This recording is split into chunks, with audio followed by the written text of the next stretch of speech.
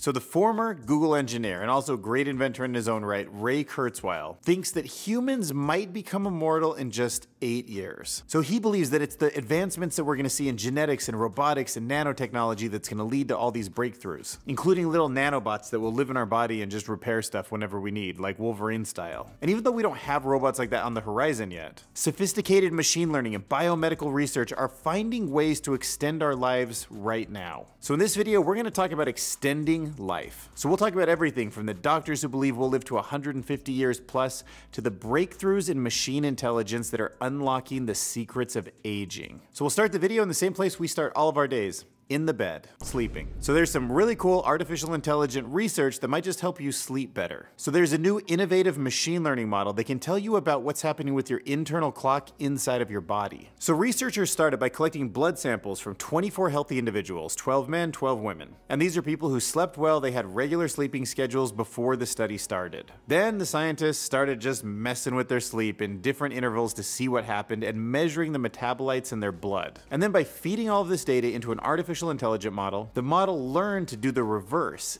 take a blood sample and make a guess as to what's happening with the internal body clock. So now we have a tool that can take some of your blood and figure out what's going on. And researchers imagine this is going to lead to personalized sleep plans, maybe meal recommendations, and other ways to avoid serious sleep problems, and all based on your unique biology. So no more counting annoying sheep or drinking gross warm milk is take a simple blood test. Who wouldn't want to do that before bed? And another way that AI is helping extend longevity is by finding new proteins, figuring out what's actually going on inside of our body. So a new study found something very interesting about the way that our body ages. So artificial intelligence showed scientists that there's a new protein. This was named menin. And it's mostly found in the hypothalamus, the part of the brain that's very sensitive, and they think that it might have a role in aging. Because there's a correlation right now that when the levels of this protein go down, there tends to be more inflammation in the body, which slowly erodes the brain in certain ways. So this might be somewhat of a protective protein that could be connected to brain health. Now, the hypothalamus is such an important part of the brain because it controls our heart rate, body temperature, and has a big influence on our mood.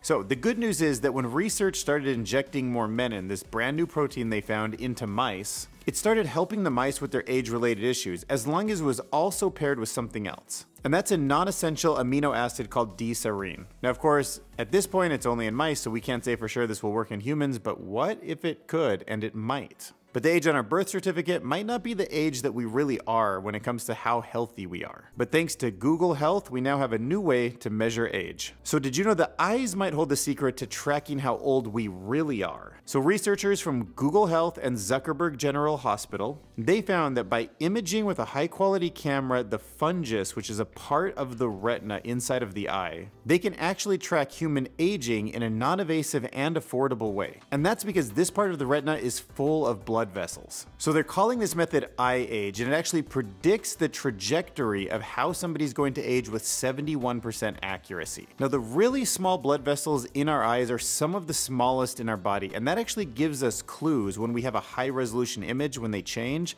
of what's happening. So those subtle changes in the past have just been too minor for the human eye to capture. But with a high resolution image and a very powerful artificial intelligence model looking for patterns, there are things that you can correlate. Age-related diseases like macular degeneration, diabetic retinopathy, Parkinson's, and Alzheimer's. So to detect these patterns, Google Research got data from over 100,000 patients. And now this method could help billions of people with age-related diseases. Hey, make sure to keep an eye out for zombies. So have you ever heard of a zombie cell, also known as a senescent cell? So with all these trillions of cells in our body, some of them, these zombie cells, they die, but they don't go away. They stop dividing, but they kind of build up and cause problems. And how many of these zombie or senescent cells you have in your body helps give people a sense for how old your body really is. But scientists are still trying to get their head around around these cells, especially a really strange process that they go through that's called cryptic transcription. And only zombie cells do this, but during this weird phase, they make these weird RNA snippets from DNA. And the exact function of these weird RNA snippets is unknown. They just tend to build up for some reason. But it also doesn't seem to be random, like it's trying to do something or trying to destroy itself or help or something or signal. But others point out that it's a little too specific. Like, is it supposed to start some kind of a process to help with longevity or is it supposed to signal to something else to be cleaned up? But thanks to artificial intelligence, researchers have now pinpointed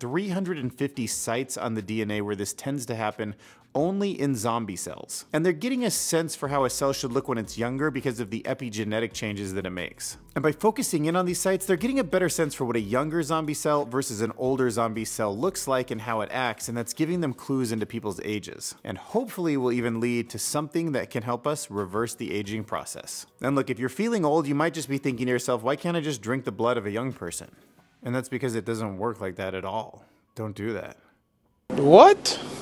So there's lots of different factors that go into the aging process, but some scientists are honing in on what it is about young versus old blood. So aging is a complicated process with lots of different things going on, but some scientists are honing in on how blood might play a role. So some scientists have found that when you take an old mouse and a younger mouse and you switch their blood, that the older one tends to have a more youthful, energetic appearance and the other one becomes a little bit older and slower. So that got scientists thinking that there might be something in the blood that's affecting age. So the jury's still totally out on this and some of the things are like not super conclusive, but there's a maybe a lead there. And on close examination of the different types of blood, they have found that a protein called CCL11 will increase as we age. And that might not be a good protein because there's some theories that that protein in itself is actually slowing down the brain's ability to adapt to new situation and make new brain cells. Now they also found a hormone called oxytocin, which you might have heard of, the feel-good hormone is higher in the younger blood. Okay, so now there's a lot of people who are on the waiting list for organs. This is a big problem, and even when they get them, sometimes it just doesn't work. It's a very difficult process. But the good news is scientists are starting to use some of the most advanced artificial intelligence to make this process work better.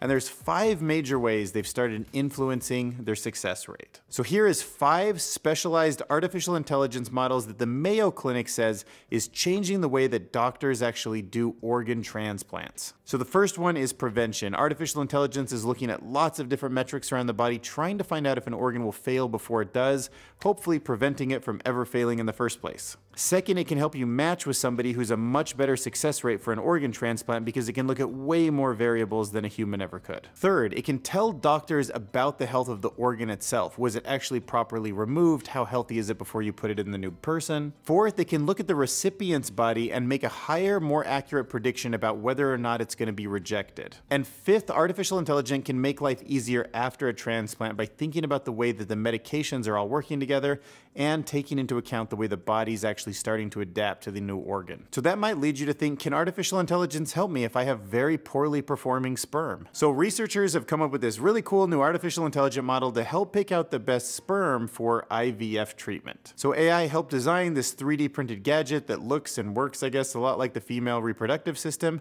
and it helps pick out the best sperm. So the cool thing is this new method seems to be way better than the old ones. It showed a huge improvement in DNA integrity and had way less sperm cell death. Plus the sperm that it chose did way better after being frozen, which is an important part of IVF. So by having a baby, you're certainly extending the life of your genetics, but as a person, what if I could add 10 more years to your life? So Sam Altman, one of the founders of OpenAI that's behind ChatGPT, is really into living longer. I mean, kinda who isn't? But he put $180 million into a new startup. It's a company named Retro Biosciences. So their goal is to help people live 10 more healthy years, that's health span versus lifespan, by looking at the animal kingdom, finding out what works in nature and applying it to humans. And even though there might be some amazing secrets to longevity out there in nature that animals are using, it sounds like we might be close to having a pill for that. So there's some scientists, doctors, they say they've come up with a pill that can help extend life by